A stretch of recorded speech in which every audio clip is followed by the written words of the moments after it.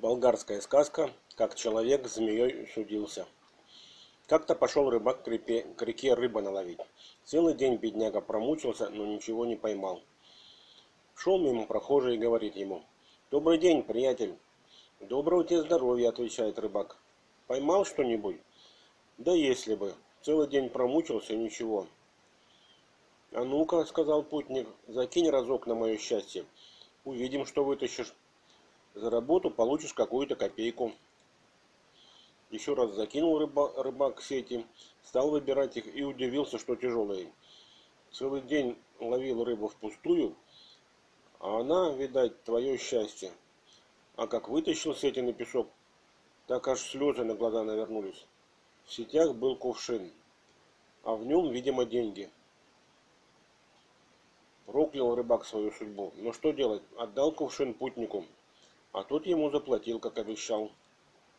Мужик обрадовался, схватил тот кувшин и бегом во вражек, чтобы открыть в одиночестве.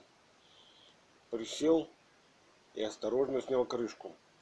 Только наклонился к кувшину, как высунулась оттуда змея. Обвелась ему вокруг шеи и говорит, «Я тебя съем». «А чем же я провинился перед тобой?» – спрашивает тот. «Я тебя съем», – снова говорит змея. Тот, кто меня бросил сюда, был человеком, таким же, как ты. Когда он закрыл меня и бросил в реку, я поклялась съесть первого человека, которого увижу, когда выберусь из кувшина.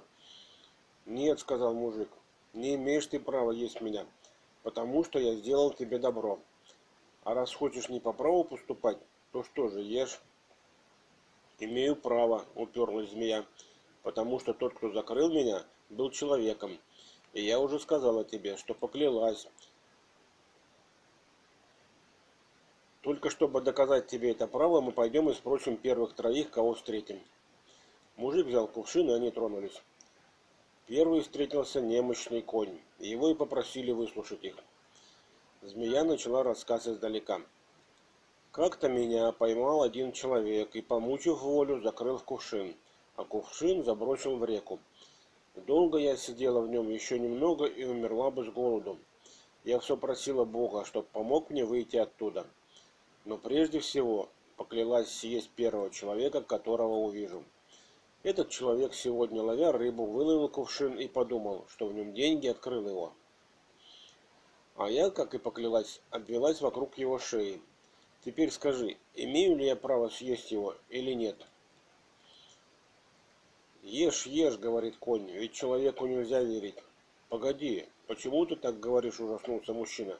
Чем я провинился перед тобой? «Слушай», — сказал конь, опершись о дерево, чтобы устоять на ногах. «Родился я в деревне. Первый мой хозяин был бедняк, потому, когда я подрос, он продал меня богачу. Пока я был молод, хозяин очень хорошо заботился обо мне. Двое слуг за мной ухаживали. Я всегда ходил чистый, вычесанный, накормленный, напоенный. Когда хозяин мой собирался куда-то ехать, надевали на меня парчевое седло и серебряную уздечку. И хозяин все ласкал меня. Когда же я постарел, он купил молодого коня, а я стал сменным. Но и тогда мне было хорошо. А еще через несколько лет продал он меня угольщику. А тот бедолага все время путешествовал с места на место. И приходилось мне возить всякий груз. А перегружал он меня без всякой меры. Как-то раз, голодный и усталый, упал я со всей поклажи и еле поднялся. Угольщик очень разозлился и продал меня цыганам. Летом, пока было тепло, те еще кое-как ухаживали за мной и пасли. А теперь, как видишь, зима, и цыгане, не имея корма, покинули меня здесь подыхать от голода. А я столько времени верно служил. Вот почему человеку нельзя верить. Выслушав коня, змея подстегнула мужика, и они пошли дальше. Шли-шли и встретили собаку. Змея остановила ее и рассказала все это как, как и лошади. Собака, едва дослушав, пролаяла злорадно. «Ешь, ешь, человеку нельзя верить». «Почему?» – спросил человек. «Послушайте», – начала собака. «Когда я была щенком, хозяйка меня мыла дважды, а то и три раза в день, и все с мылом. Обедала я за одним столом с хозяевами, спала в теплом углу. А когда состарилась, выбросили меня во двор. Много лет я охраняла усадьбу от лихих людей. А когда уже совсем негодной стала, выбросили меня прочь на улицу. Как-то я попыталась вернуться назад, так что вы думали, закрыли ворота. Стали все, кто с цепом, кто с камнем. И так меня избили, что едва уже живую выбросили на помойку. Некуда мне деваться, вот и я иду топиться. Потому и говорю, человек не помнит добра, а значит верить ему нельзя. Змея подстегнула мужика, и они пошли дальше искать третьего, последнего. К счастью для мужика, навстречу шла кумушка лиса. Змея позвала ее, а человек тайком показал лисе свои пальцы. Та поняла, что он обещает ей десяток кур, но пошла дальше. Вроде как и не слышит змеи. Тогда змея громче попросила ее остановиться на минутку и рассудить их с мужиком. Лиса стала поодаль и говорит, о каком суде можно говорить, когда ты взяла его за горло и душишь? Отпусти его, если хочешь, чтобы я вас рассудила. Змея спустилась вниз и начала свой рассказ. Меня схватил один человек, закрыл кувшин и забросил в реку. Погоди, прервала я лиса. Если ты действительно хочешь, чтобы я выслушал вас, то не лги так беззастенчиво.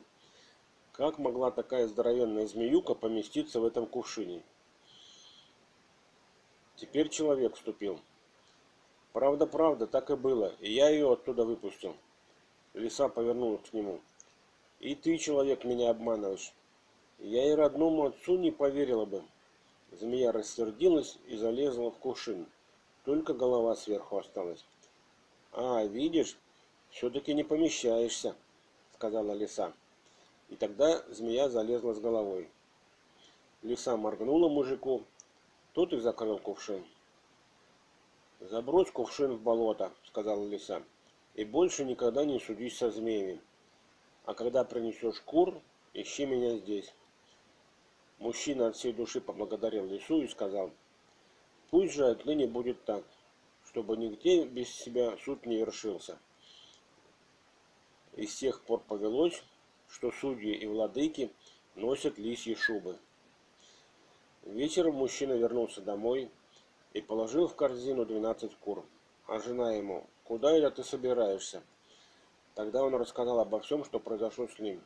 Женщина подумала, ох и дурак мой муженек, отдавать кур лисе. И когда человек, натерпевшийся за день, крепко заснул, женщина встала и вместо кур посадила в корзину борзую. Утром человек вскочил, с просонья не взглянув в корзину, забросил ее за плечи и отправился в условленное место – Свистнул раз-другой, а лиса уже здесь. Стала прямо у корзины, да вытаращила глаза, чтобы кур напугать. А когда человек открыл корзину, то и глазом моргнуть не успел, как борзая разодрала лисицу. Только и молвила бедная, а и действительно человеку верить нельзя.